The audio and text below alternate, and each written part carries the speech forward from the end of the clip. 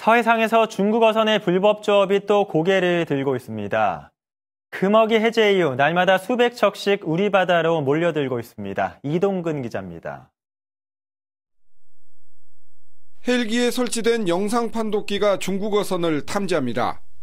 불법 어구를 사용하는 정황이 포착되고 곧바로 고속 단정이 중국 어선을 향해 내달립니다.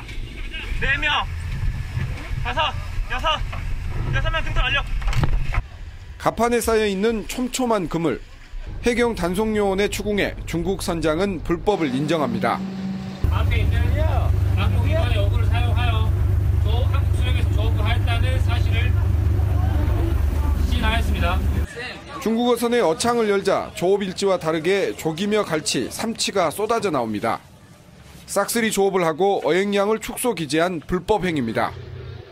지난 10월 금어기 해제 이후 서해상에는 하루 평균 300척이 넘는 중국어선이 몰려들고 있습니다.